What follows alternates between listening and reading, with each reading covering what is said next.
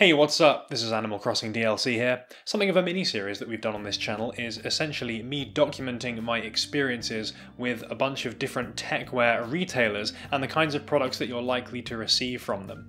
And uh, super glad to hear that those videos have been really helpful for you guys. And uh, it's only fair that by way of contrast we look at the tippy top end of the techwear scale as well. And who better to do that with than Acronym? It's possibly the most prestigious name in this space and for good good reason, but that does come at a price. Even co-founder Errolson Hugh describes his jackets as ridiculously expensive. Of course, we'll be looking at a brand new ridiculously expensive jacket today, fresh from the FW21 season. It is, of course, the J16 GT in the lovely Alpha Green. We'll be going in depth on this thing to get a bit of a better understanding of what it can do and my experience with this jacket so far as someone who owns probably too many acronym products already. And and for the relatively uninitiated or newcomers to the techwear scene or acronym, it's a good way of helping to understand exactly what you're getting for that pretty chunky investment. This retailed at I think £1,500 in the UK, something like $1,800 I believe from US retailers. And can such a high price really be worth it? Let's find out. I opted for the Alpha Green version, even though it does come in black, because of course, I have enough black jackets already, but I also think that the Alpha Green version is the better option for this model for reasons that we'll come back to later. On body, I think this is a great looking jacket with so much to look at. It is inspired, of course, by military design, as many of Acronym's products are, but upgraded in so many ways to make it not just more useful to civilian wearers, but in my opinion, look far cooler as well. It feels like every section has some kind of feature or element on it to the point that its departure from your run-of-the-mill rain jacket is very plain to see. It's also very different to some of those more under-the-radar acronym jackets like the J47 or the J27 for example. The J16 really does wear its performance quite literally on its sleeve. That's partly what attracted me to the J16 because I do like things where all those performance elements are very clearly visible. And I think for people that maybe own fewer acronym products or are looking for a kind of first jacket. If you're spending acronym money, you want the most acronym looking thing for the money. And uh, hard to deny that it certainly looks very acronym. This is still very much an if you know you know product. By default there is zero external branding on here. It does come with a piece of logo tape that you can replace one of the existing ones at the collar if you want to, but that is literally it. And despite being made of Gore-Tex Pro Most Breathable, one of their highest end uh, performance materials, you won't find any external Gore-Tex branding on this, which is almost unheard of. Almost no brands are even allowed to do this because of licensing agreements with Gore, so the fact that this doesn't have that branding on in itself makes it a pretty special product. Yes, it's obvious visually this is a very busy jacket, and I totally understand some people are not going to like it for that reason, I personally do, but all of those features and all those things to look at directly translate into performance elements. So let's look a little bit more in detail about what some of those are and how they work, because there's nothing on here which is just kind of tacked on just for the sake of it. Everything is useful, everything is designed to do something. One of the first things I want to talk about might seem on first glance like a bit of a weird addition. There is this single button to the middle of the jacket. The assumption here is, well, this is a very futuristic looking technical jacket overall, and a button is far more associated with classic menswear or something more heritage. We shouldn't forget though the military roots of the J16, even discounting that comparison that we drew earlier. Earlier versions of the J16, like the FW50 15 one I think it was, has large Velcro patches on the shoulders instead, and that obviously uh, makes that military reference much plainer to see. Considering the prevalence of buttons on military gear, the addition therefore does feel less surprising. And on a jacket like this, where there is no kind of central pocket, like on the J1 or the J36, you don't have any means of concealing a central closure, whereas those jackets both have poppers underneath, so you can kind of use the pocket to close the jacket. An exposed popper might have felt more in keeping with a sort of urban technical kind of style, although I'd be willing to bet that without a pocket or anything to conceal it would look a little bit silly, just kind of sitting there by itself having this teeny tiny thing. So better to make more of an aesthetic feature of it and uh, also pick something um, that could stand up to the tension of closing the entire jacket by itself much better. I thought this would be something that I'd never really use, but I've actually found it relatively useful. Not only is that oversized button pretty easy to find without looking at it and easy to do up thanks to that angled button closure, but it actually does a pretty good job of securing the jacket in a very quick and very casual way. Because the uh, bottom zip is kind of restrained by the stretch Gore-Tex panel at the bottom, it means that there's a less ability to have that kind of semi-opened jacket look with a zip alone. So using the button instead is a great way of getting across that same kind of look in a different way. Fortunately this button is also secured extremely well. It's attached to uh, this little material strip, meaning that it's not pulling directly on the Gore-Tex material. The first couple of times I did this jacket up, the material flap that goes underneath it did sort of catch on the zip track because I forgot about it, but now I'm more conscious of it. You just close one side of the jacket over the other before you do it up, and uh, it definitely alleviates that issue. I mentioned the expansion zip at the bottom there. While it's not quite as versatile as on some jackets just because it doesn't go up quite as high, it is still of course a welcome addition. It makes the jacket a little bit more comfortable, especially when you're sitting down. I also found that leaving it undone makes it easier to do up the main zip because you can just grab the zip track without the whole right side of the jacket. If you're wondering why they have this at all and not just a double zip, which is one of those features that I love to talk about as a cool technical jacket feature, it's because this main zip is no ordinary main zip. It is using acronym escape zip technology, which means that you can pull the zip open from the top of the jacket, which will instantly pull the whole thing apart. This works really well. You can do it very quickly. You can do it one-handed. It's one of those things that you will never really find in a regular mainstream jacket for whatever reason, but is nonetheless a very cool and a very fun feature to use. I found this useful when you're carrying stuff when you just want to get this undone in a hurry, but as a result of that, being able to pull it open from the top like that, that isn't compatible with a double zip. So having the, the kind of second auxiliary zip at the side there is the solution. One thing I love the look of more than the functionality is those big shoulder pockets. They give a very plate armor kind of vibe and because they bulk out the shoulders, I feel make this jacket feel quite masculine on body. I just can't see myself making too much use out of these, although they are relatively sizable, they are still by all accounts a small pocket, especially relative to some of the other ones that you'll find on here, which we'll go into later.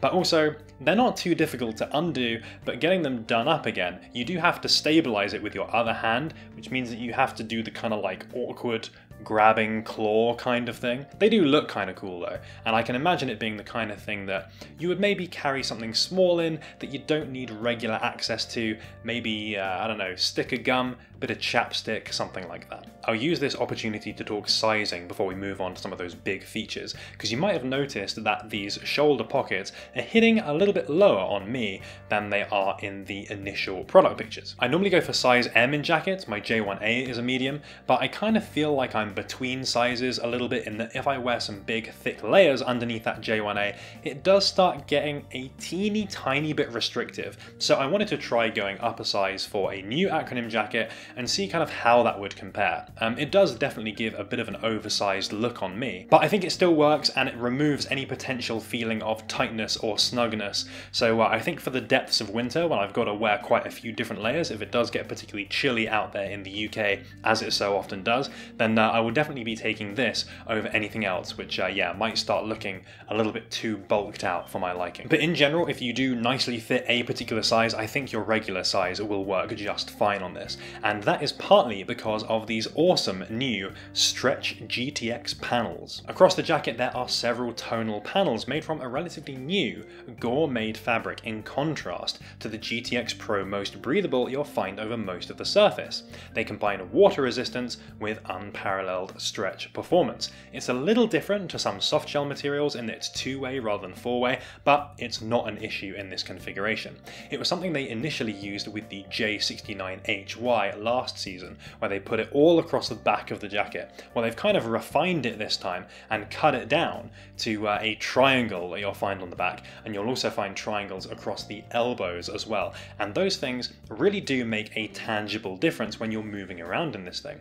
It's the kind of thing that you'll only really notice when you're kind of at the real limits of movement, like if you're really reaching for something, then that's the point where you'll feel those panels start to kick in. But for that reason, and discounting the size difference, this does feel more comfortable to wear than my J1, and I could definitely see myself getting very used to having this kind of stretch performance on a hard shell jacket which, uh, yeah, from other brands is just not really something that you'll see very often at all. I'd be willing to bet that the stretch fabric doesn't quite have the same water resistance as the hardshell Gore-Tex Pro Most Breathable, so it's a good job that they have kept this to the relatively low traffic areas of the jacket. Obviously, most of the front is all your regular Most Breathable stuff, but they have, of course, uh, seam taped these different panels to help prevent any water coming in that way. Using this material for the bottom panels of the jacket I don't think adds quite as much utility as on the back or across the elbows. It's a minor comfort difference when putting your hands in the pockets, but it doesn't really allow for greater maneuverability.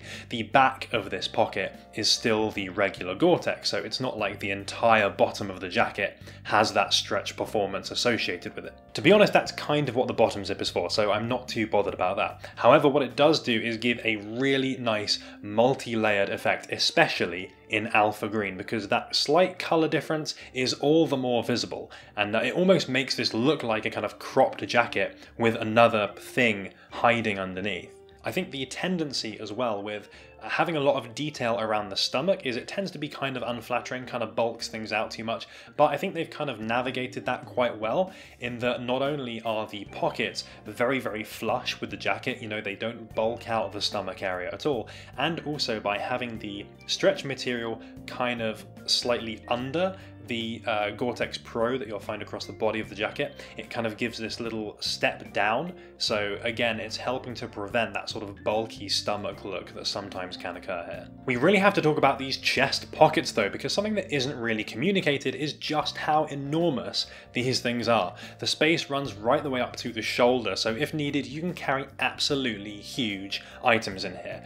A rolled up A3 sheet of paper, for example, would probably fit, which is pretty much unheard of in a jacket. I actually nearly managed to get my keyboard in here. The only thing that stopped it was the size of the opening itself. The, the physical space is definitely big enough to fit one. The absolute limit of this space is of course something that you're relatively unlikely to use often, but one of those things where it might just come in clutch that one time when you need it. So I think this is definitely an example of a very well considered design where it has basically been totally hidden. When this pocket is empty, you really do have no idea that it extends all the way up to the shoulder blade. I haven't found the double zip here super useful over and above a single zip version, but it is one of those things because you can open the pocket from the bottom. If you're just using it to keep your hands in there, your hand isn't rubbing up against the bottom of the zip pull as it would do normally. So I guess uh, one of those teeny tiny little benefits that uh, all add up, I suppose. Moving down to the bottom of the jacket, we have a single popper to secure the hem. I found this a bit of an erroneous feature so far. I haven't found much use for it in that if I want to do the jacket up properly, I'll use the zip, but if I want the kind of semi-open, relaxed, casual look, I'll use the button, and uh, then I don't actually want the bottom of the jacket closed. So I guess this will maybe come in handy if you've got it done up with the button and then you think, oh, I'm getting a bit cold, but I can't be bothered to do up the zip properly, so I'll just secure the popper at the bottom.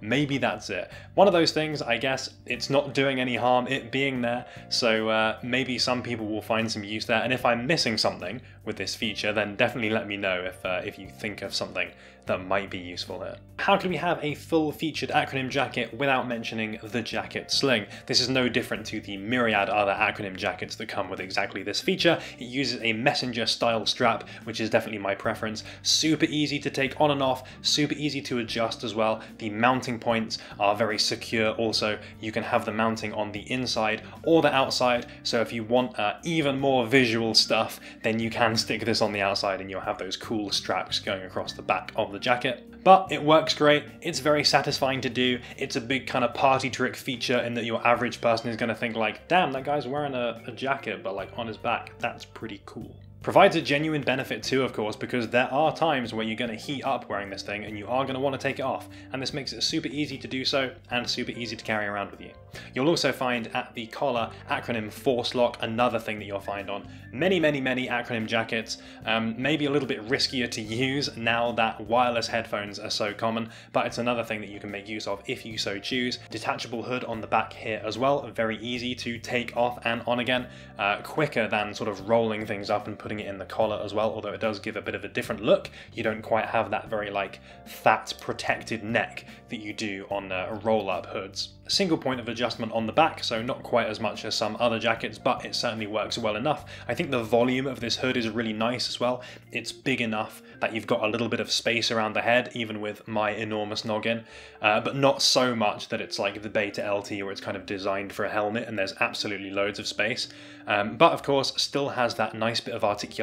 If you do want to cinch this in, if it gets a little bit windy, you can keep this glued to your head and uh, still kind of moves around with you as you move your head. Back to the overall is it worth it discussion though, something that a lot of people might either miss or overlook, and certainly a point in favour of the alpha green version.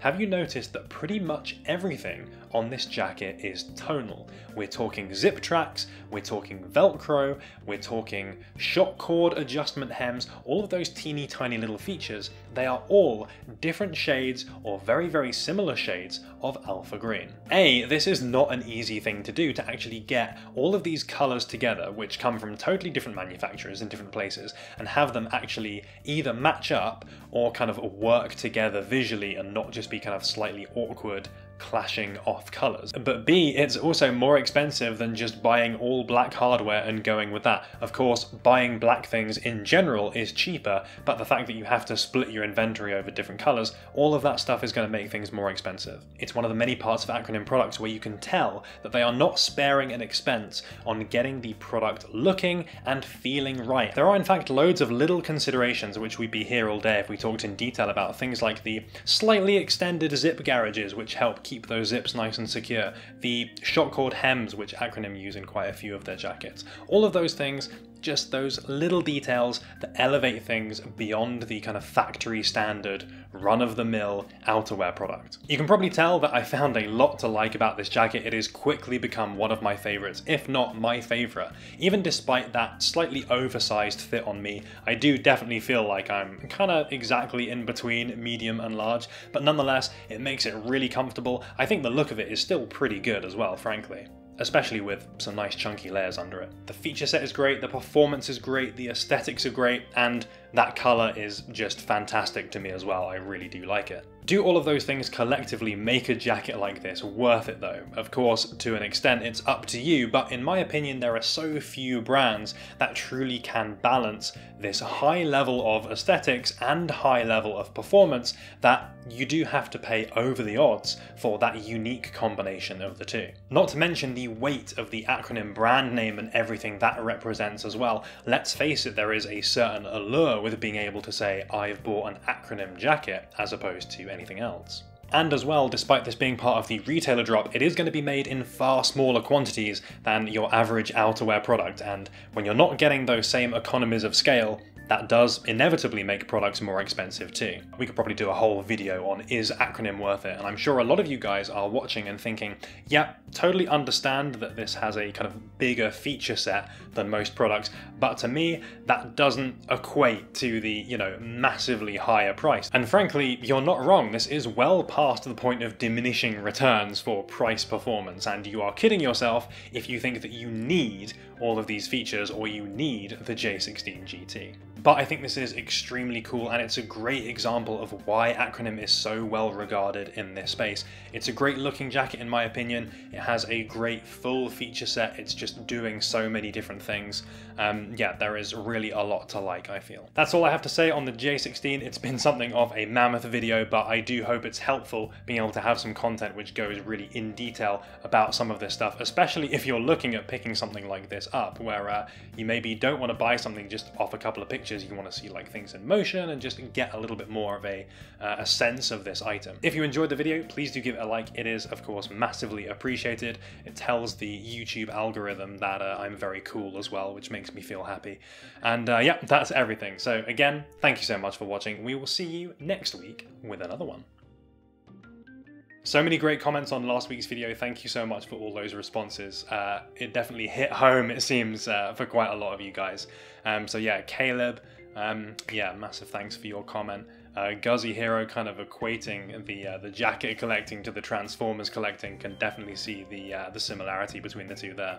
And shout out to Quaima, definitely wise words there, would certainly recommend following that, which maybe goes at odds with a YouTube channel that is based entirely around products. But uh, yeah, it's all about that responsible consumption, buying less but buying better. That's what I'm all about. Thanks for making it all the way to the end of the video. If you want to catch some more, there's going to be links going up at the top. If you haven't subscribed yet, please consider doing so. There's going to be some more cool techwear content.